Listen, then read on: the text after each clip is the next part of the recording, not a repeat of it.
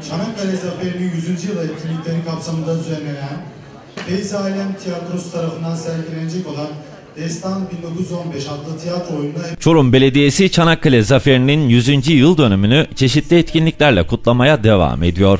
Belediye etkinlikler kapsamında 22 Mart Pazar günü Destan 2015 adlı tiyatro gösterisini Çorum halkıyla buluşturdu.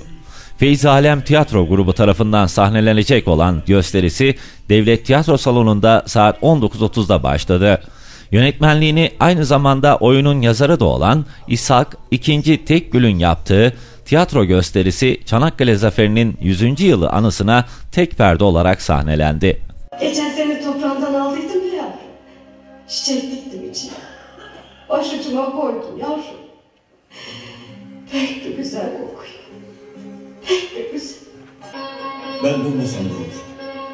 Deyin ki inşallah da öyle olur. Sanki kurşun mu atacak birader? Sarıp duruyor tüfeği. Konuşma da.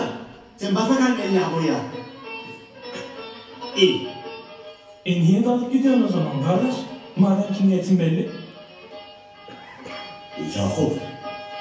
Dedim ki geçen İbrahim Hoca anlatmıştı ya anne. Neyi? Ya diyordu hani şehit olurken son nefeste Hazreti Peygamber'i görürmüşsün başucunda. Hey ya. Hey gidi yarabay Hasan Bey. Hey. Ulan ben duymadım onu ya. Almalıyız onu oradan. Delirdin mi sen? Türkler kafa denilmiş yüzden. Ateşi kestiler baksana. Sanki komutan almamız için fırsat arıyorlar bize. O oyun yapıyorlar bence güvenmeyin. Çanakkale. Vakti değil. La havle ve la kuvvete illa billahil aliyyil azim. Ya Allah.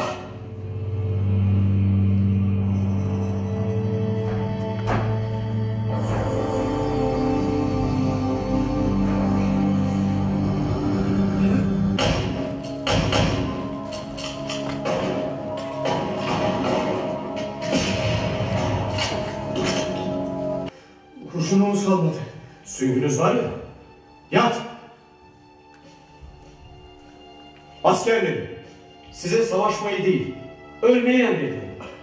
Yetişir o zaman belki başka kumandan ve başka askerler.